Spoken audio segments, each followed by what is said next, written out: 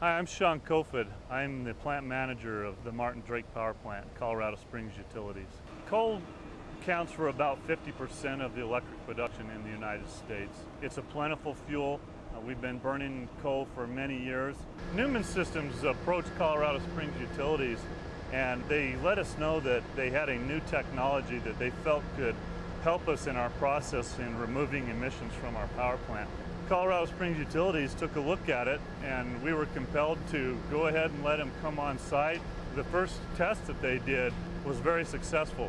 At first I was pretty skeptical about this process because I felt that it was almost too good to be true. All this equipment is part of the Neumann Systems PureStream technology.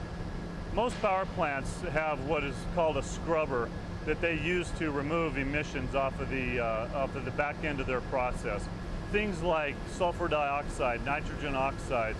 We would like to remove those things because these types of things are harmful to our environment. That's what the Neumann Systems PureStream technology will be doing. This is a new type of technology that's going to do the same type of things that existing technologies do, but it's only, it's going to do it cheaper, it's going to do it more efficient, going to be more economical. As a utility customer owner, this is going to save you money on your bill in the long term.